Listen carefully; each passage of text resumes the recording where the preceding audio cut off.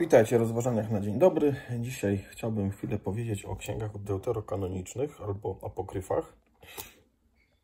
Różnie się je nazywa, zależnie od tego, jaki się ma pogląd na, na nie. Jedną rzecz, którą warto zauważyć, to że generalnie niezależnie od tego, czy się je uznaje za natchnione, czy się nie uznaje za natchnione, to generalnie tak czy siak te księgi no właśnie odróżnia się w jakiś sposób od pozostałej części. Yy, no wtórno-kanoniczne, co to znaczy deuterokanoniczne, wtórno-kanoniczne, to znaczy, że w jakimś sensie są wtórne wobec tego, co jest pierwotne.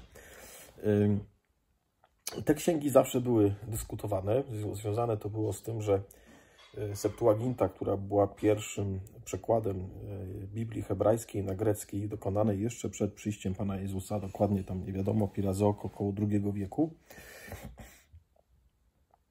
no to był taki, powiedzmy, taka inicjatywa,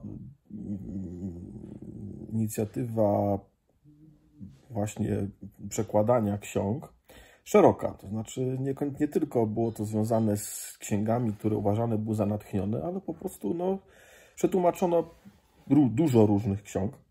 To jest zresztą ciekawe, że ta wersja ksiąg deuterokanonicznych w kościele prawosławnym się różni trochę od y, wersji katolickiej, co też pokazuje, że jakby nie jest to taka ścisła liczba ksiąg. Tu polecam y, Biblię e, e, ekumeniczną, z księgami deuterokanonicznymi, dlatego że właśnie e, to, to, to wydanie posiada wszystkie, to znaczy nie tylko uznane przez Kościół rzymskokatolicki, ale również przez prawosławny księgi deuterokanoniczne. Tam są różne dziwne e, dodatki, szczególnie Księga Daniela strasznie dziwnie wygląda, także ktoś tam chce sobie poczytać, to, to polecam.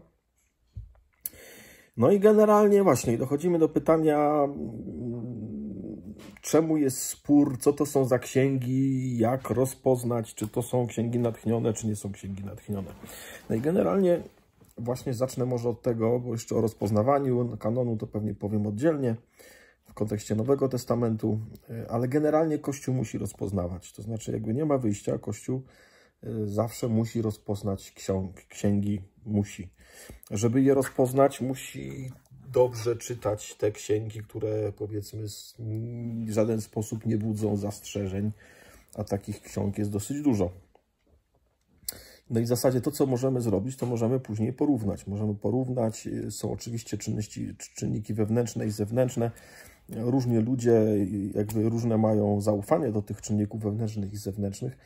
Czynniki zewnętrzne można nazwać takimi histor historycznymi trochę czynnikami, czyli kwestia autorstwa, kwestia yy, kwestia rozpoznania, no, znaczy głównie autorstwo to jest w kontekście Nowego Testamentu, w kontekście Starego Testamentu tego autorstwa tak naprawdę nie za bardzo da się jakby yy, dowieść często.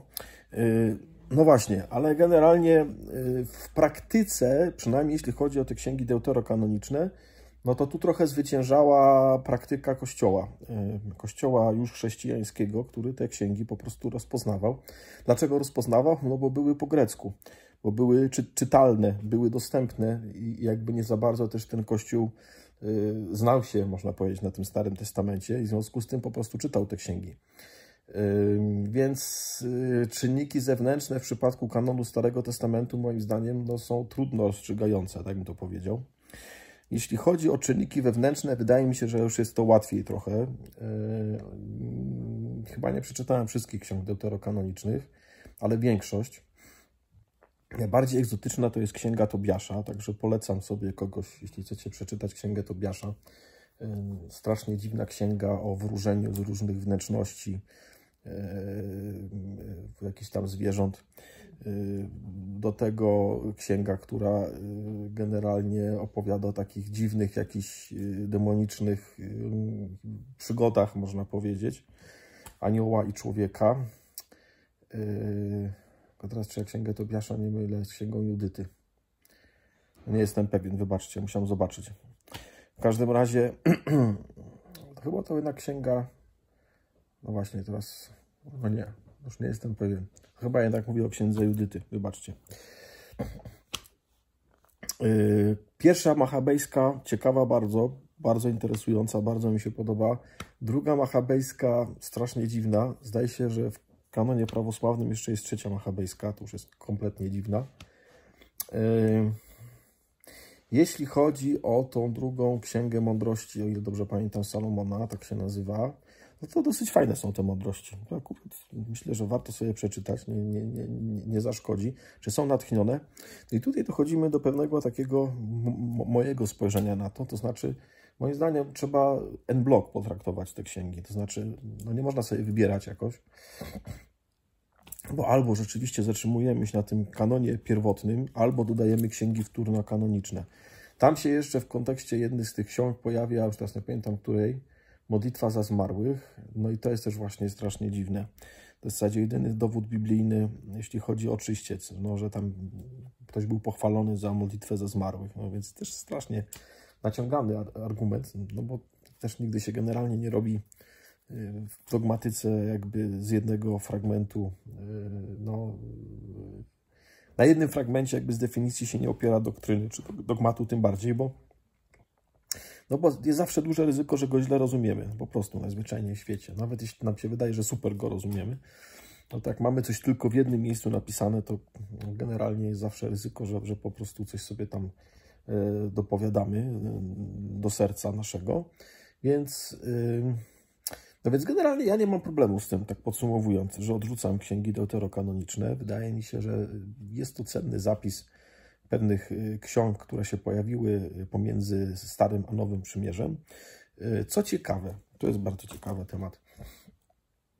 Są księgi cytowane w Nowym Testamencie, również z tego samego okresu, które w ogóle nie są nawet w tym, w, w tym wtórno-kanonicznym, w wtórno-kanonicznej grupie.